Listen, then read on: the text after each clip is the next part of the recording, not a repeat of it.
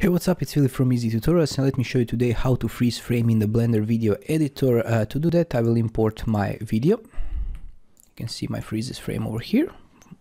I'll just import my video.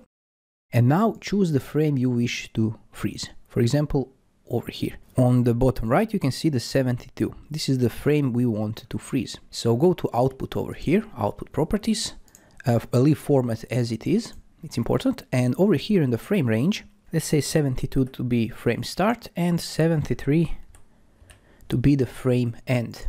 We want to uh, render this frame only. And under the output, choose the folder you want to output your frame. I will go in my editor and I will type in freeze frame.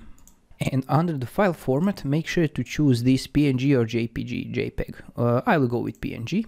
And now when you are done, go to render and click render animation and if you quickly render your uh, image you can remove it.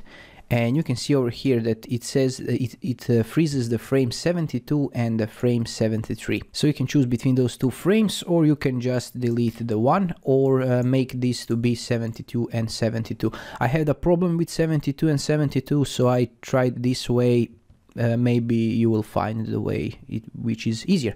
So over here now just go and drag and drop the frame over here. And we have a problem. It says start 72 start 73 now remove this make it 1 to 1000 and select your clip press k on your keyboard to cut it. Move this over here and move image over here like this and move over here. You can change the duration of the image how you want your frame to be freezed so it's moving it's freezed and it's moving again. And this is it. If you find this helpful let me know in the comments below. Thanks for watching. Bye bye